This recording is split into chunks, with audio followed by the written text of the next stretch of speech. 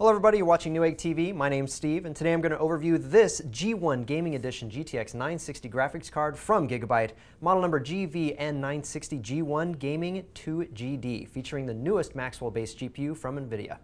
Right, so Gigabyte also have other versions of the GTX 960 available. This one, however, is the G1 gaming version utilizing the WindForce 3X. There's also a WindForce 2X version and a compact version. This video, however, is going to focus on the G1 Gaming Edition GPU that I have right here. But before we get much further, let's chat about the Maxwell-based GPU Gigabyte chose to use in this card.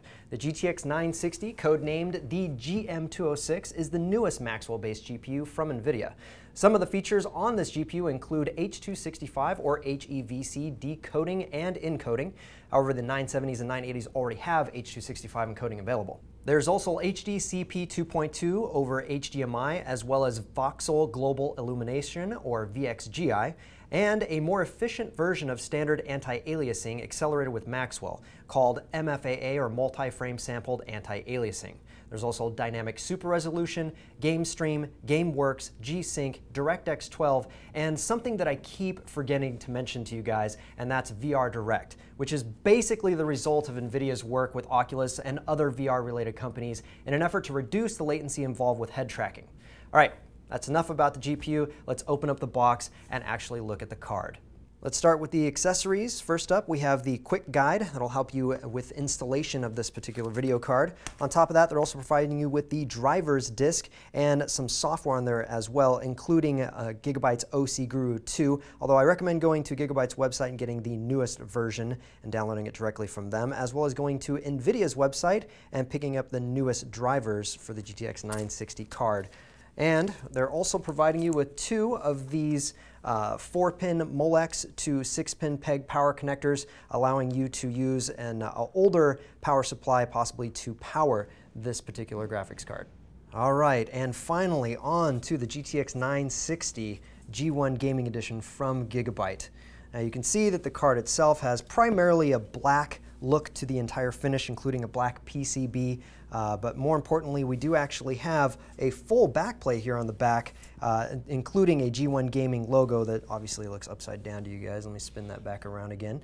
Uh, but aside from that, this is the card, and it's quite substantial because of this WindForce 3X cooler on it. It's, it's, it's much heavier than you'd anticipate. I mean, the PCB itself actually ends right here, the rest of that being a, fin array for those heat pipes. But anyways, moving right along, uh, as you can see, the card itself looking very nice. Uh, full metal backplate, full metal shroud for the WindForce cooler. Uh, we have some Phillips head screws that you'd need to uh, remove here in order to be able to take off the cooler as well as the backplate should you decide to do that and go for a more extreme cooling solution than this already extreme uh, cooling solution, the WindForce 3X cooler.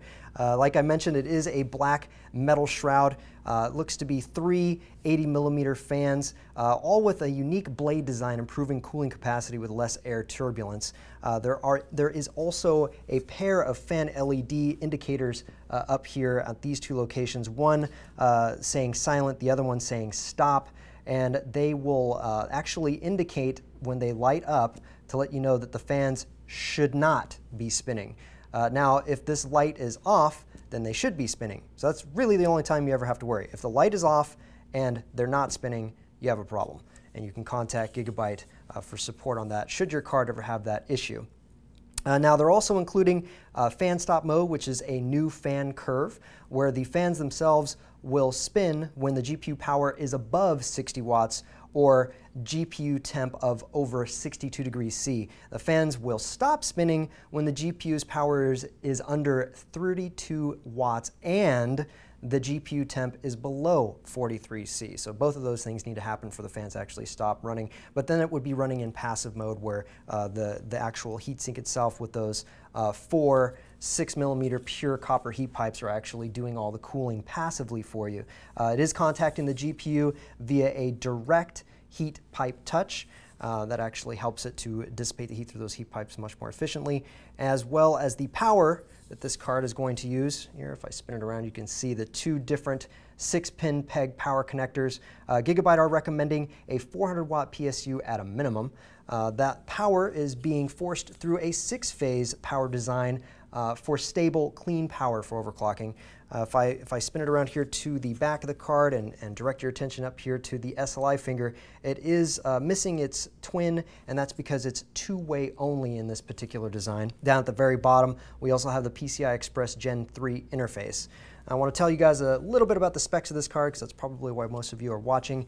Uh, it has 1,024 CUDA cores, 64 texture units, 32 ROP units, a stock base clock on the stock unit of 1126 and 1178 boost, but this one is factory overclocked to 1241 megahertz and 1304 megahertz respectively to their core and boost clocks. Also, 2 gigabytes of GDDR5 memory, a memory clock at 7010 megahertz, and 128-bit memory interface, giving a total memory bandwidth of 112.16 gigabytes per second.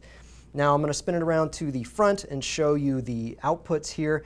Uh, Gigabyte are using the Flex Display. That's their technology that they are going to have patented here fairly soon. And it basically automatically selects the outputs uh, uh, that are being used, up to a total of four. Uh, obviously, there's a total of six outputs here, but most important is probably to draw your attention to these three inputs. So we have two DisplayPort here and one DVI-D or DVI digital uh, only out. And of these, these three, you can either use the two display ports or one of these two display ports, and it will disable the use of the DVI connector here, or you can use this DVI connector and it will disable the use of these two. But aside from that, this display port out, this HDMI out, as well as this DVI-I out all three will work no matter what. All right, everybody, that is going to wrap up this overview of the G1 Gaming Edition of the GTX 960 from Gigabyte featuring the WindForce 3X cooler. Thank you guys so much for watching, and if you liked the video, click the like button, and until then, we'll see you guys in the next video.